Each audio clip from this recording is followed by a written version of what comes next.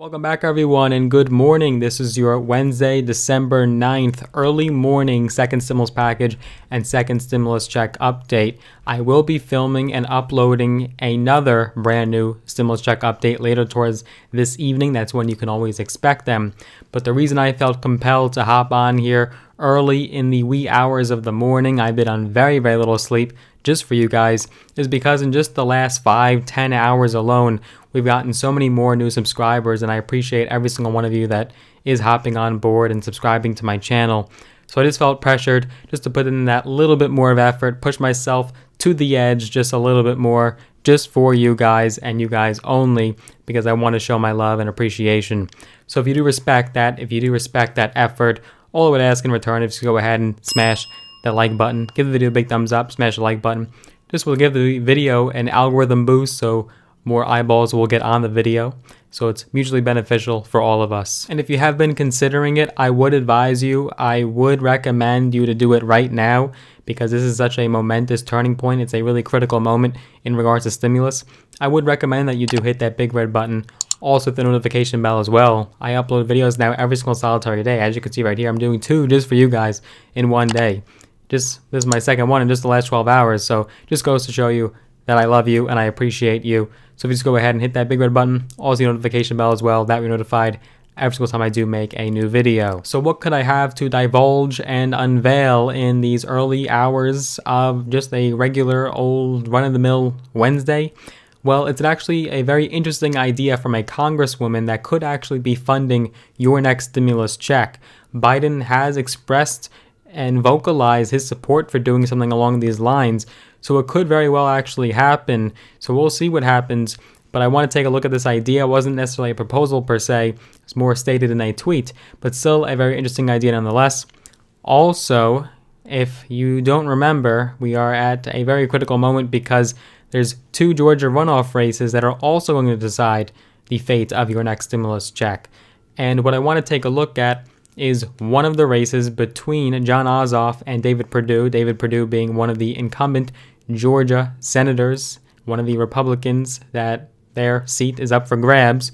And so I want to take a look at Jon Ossoff, his challenger's stance on stimulus, because he could very well be the next senator of Georgia, or at least one of them. So I want to take a look at that, and I also want to take a look at that interesting idea. We're going to be looking at it in this update. So who's speaking up now and renewing their calls for stimulus?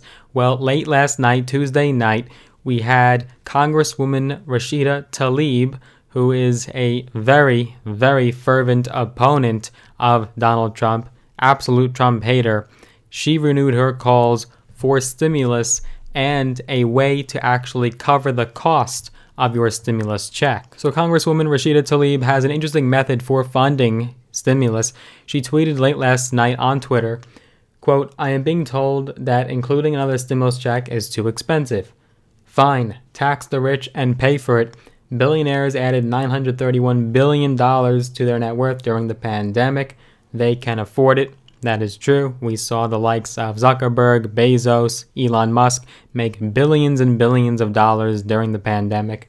She went on to say, P.S. They got a $1.7 trillion tax cut. We could start there. She also corrected herself. She made a typo when she said pandemic, so she did add pandemic and not pad memic. But at any rate, her method would be actually reversing the Trump tax cuts, the Tax Cuts and Job Act from 2017. And Biden himself has also shown opposition to the Tax Cuts and Jobs Act. Many Democratic leaders were strongly against it because a lot of the benefits ended up going to the rich. Now, the lower class and middle class did in fact get a tax cut. Their tax brackets did in fact go down, but arguably most of the rewards went to the ultra wealthy and the top 1%. So she wants to totally do away with the Trump tax cut. What do you think about the idea? Would you be in favor of something along those lines? Let me know down below in the comments. We'll keep the discussion going. But Biden was pressed heavily about this issue. As president, would he in fact eliminate the Trump tax cuts? That was a large focal point of the election.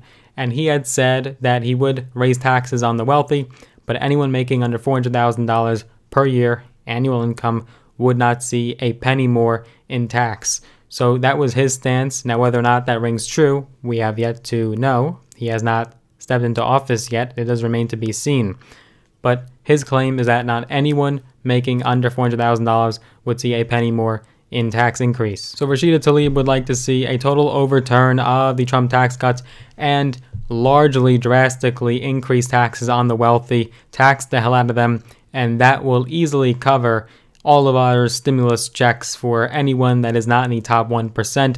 We'll be getting our stimulus checks via the ultra wealthy. Thank you, rich people. It's certainly plausible, it's not unreasonable. Remember Democratic candidate Andrew Yang, when he was calling for his UBI, Universal Basic Income of $1,000 a month, he was always asked how he's going to pay for it. Well, he's going to tax the hell out of Amazon. So that would be his way of affording UBI. So if we could do UBI, we could certainly do a $1,200 stimulus check. And under a Biden administration, you will likely see a tax increase on corporations and the wealthy. So that could very well cover at least the majority of the cost of stimulus checks. So I'd like to shift over to the Georgia Senate runoff races. Super crucial, uber imperative these races because not only will it affect stimulus and what a stimulus check and your next stimulus package could look like, but also could affect Biden's entire four year term, his first term.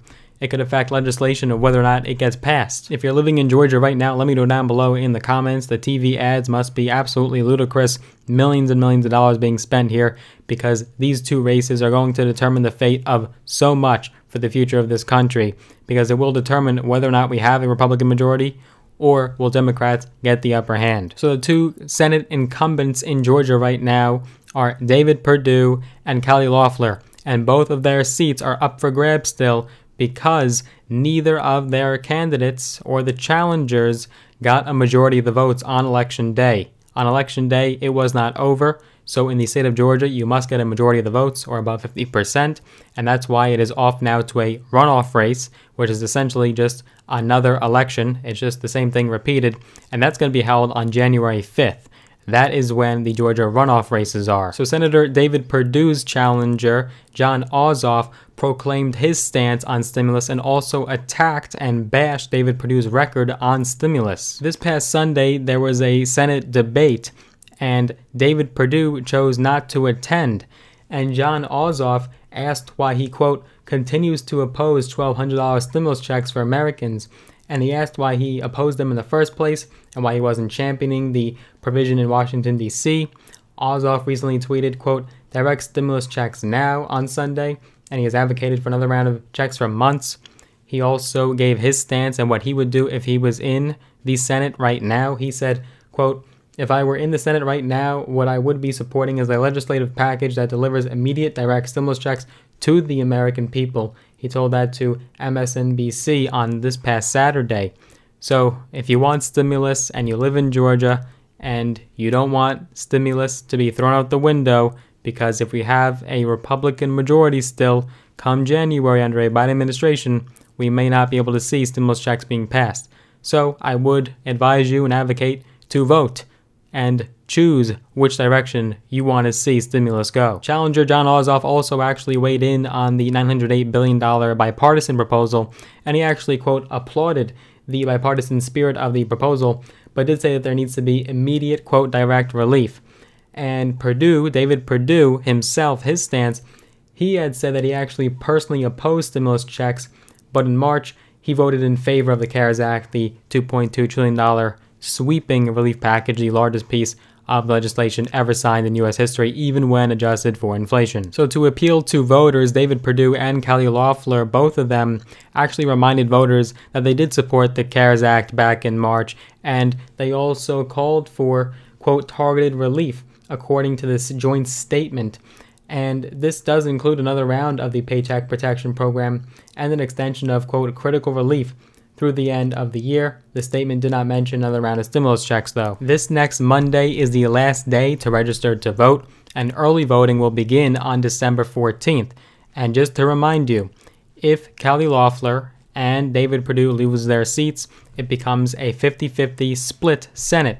And that actually gives the upper hand to the Democrats because the Constitution grants the Vice President of the United States to split that vote and break it in favor and sway it one way or the other. So in that case, the vice president would be Kamala Harris. Now, I know many of you probably don't trust the polls, but the polls are actually indicating that one of those seats will be lost and one of them will be maintained and retained, which would mean a continued Republican majority in the Senate because they can afford one seat lost. The Republicans can afford to lose one seat.